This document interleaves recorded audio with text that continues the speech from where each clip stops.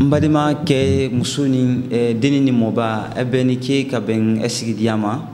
ne tɔgɔ le malik jakite journaliste le di guinée matin point com bi wura na an n'an ne ka na a ɲɛfɔ n ye mantɔrɔli mɛn y'an kan bi guinée matin point com kan site internet le mɛn la guinée depuis wosan kɔnɔntɔn le ten bi bi na an barara gbɛrɛn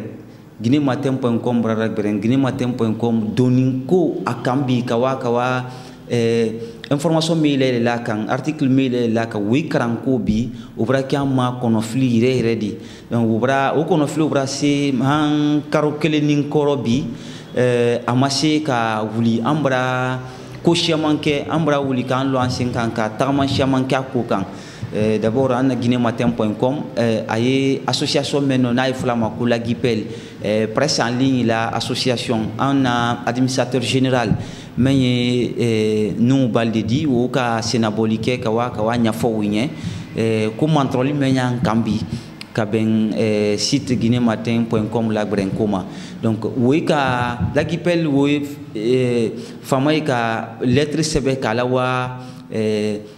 ARPT la ARPT o o ye eh, ministère de eh, poste et télécommunication n'a bila ale kɔnɔ donc l'ARPT o wele ye site lagbɛrɛ na wele ye site bloqué la ne ye fɛ eh, jamana kɔnɔ mais han bi bi in na an ma an ma réponse foyi sɔrɔ eh, wela wela ko ma an ma ɲɛ kelen foyi sɔrɔ wela lettre mɛn wani ɲɛ kelen foyi ma sɔrɔ a ko ma han yɔrɔ min na ten La HAC même fana ye fɔla ko haute autorité de, de la communication mɛn dɔ don ni journaliste la eh, la kɔlɔsili ko kan eh, la Guinée kɔnɔ yan an bara wa fana ka senabɔli kɛ ka se u ma ka ɲɛfɔ u ɲɛ donc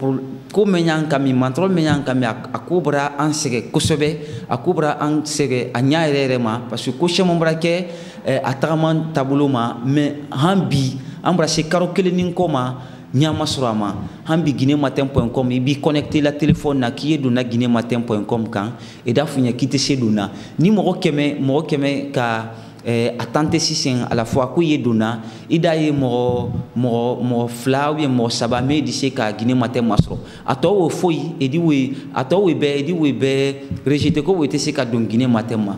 pourtant a tɛrɛ tɛ wo ɲa fɔlɔ bi bi na ɛɛ wo ko bɔra an kɔnɔ fili donc f'an ye bɔ k'a ɲa yira ka an badema laginɛka ye bɛɛ la min ye laginɛ kɔnɔ ye ani min ye a kɔ kan ka a ɲa yira ka i la ko problème bɛ ɲ'an kan parce que elle est en karana su ani tele donc an bra gouvernement fene eh, mining ka ko ni ma gouvernement mais la porte parole ben Ousmane Gawalma an ka we mining ka ana ko ma ni fama eh,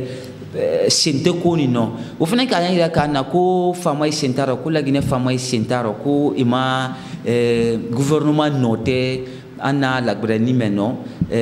mɛ o ko o ko an bra ko lagbɛ k'a lɔn ko tunya tɛ wɔrɔ parce que ni k'a lagbɛ eh, ele ko ko problème y'a na hébergeur il ma mais ka site men créé mais ye site men na eh,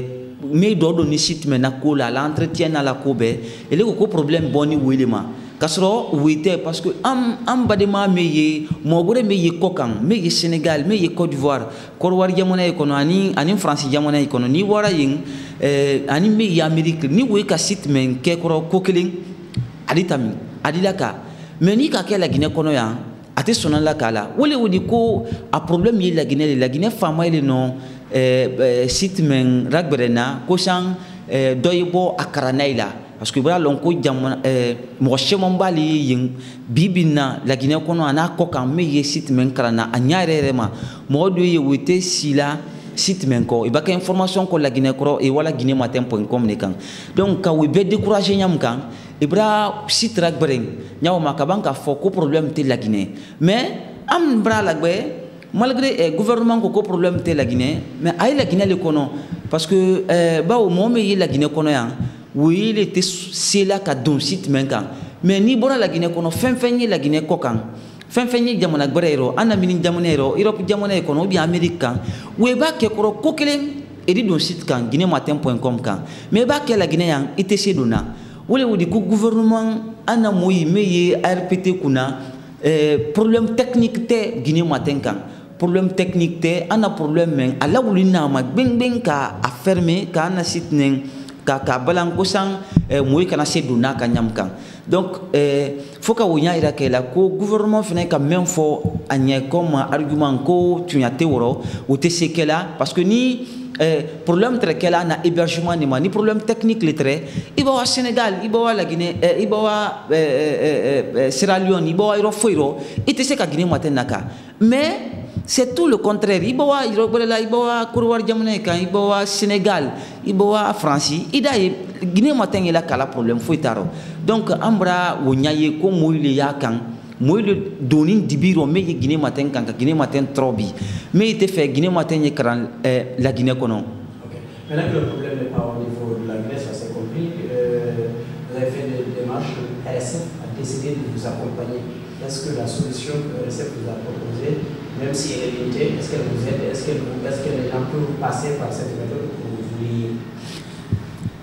eh, eh,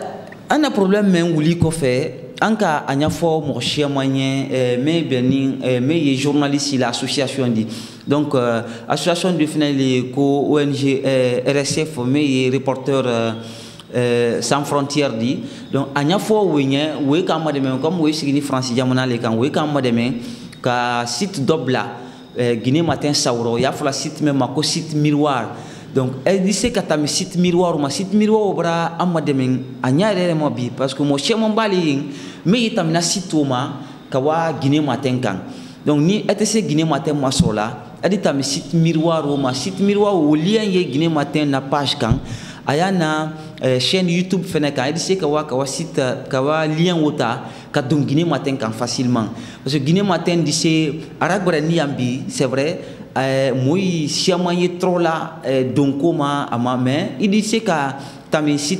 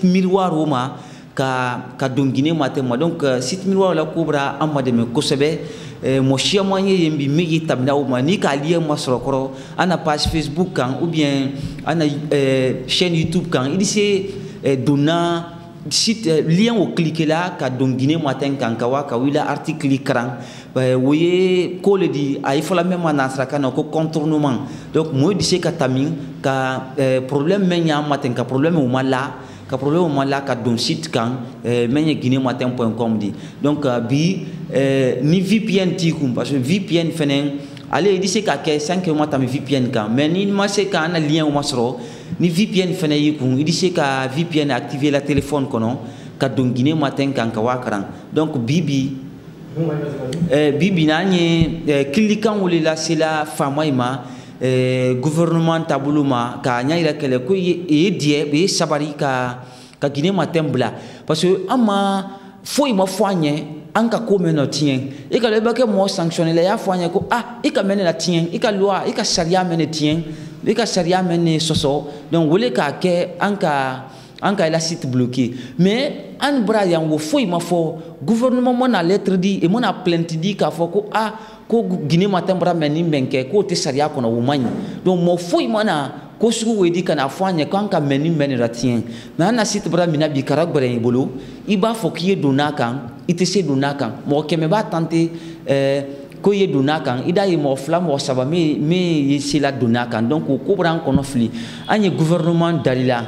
an ye eh, eh, eh, président dalila fɛn fɛn n'i kɔni k'a lɔn k'i ye ko mɛn kɔfɛ i sabari ka eh, ko nin bila parce que eh, a, a y'an tɔrɔ ko le di guinematin.com la administrateur général mais n'o bali de di a ye wari siyaman de bɔla bi wari siyaman investisseur investissement siyaman de kɛla bi ko san problème mɛ ye wuli an kan donc an ye bɛɛ dali la fɛn fɛn lɔn ko ye ko mɛn na eh, sabari ka a ko la wuli eh, ka diɲɛ ka e bolo bɔ a ko kɔrɔ ko san eh, guinematin de fonctionne ɲami kan normalement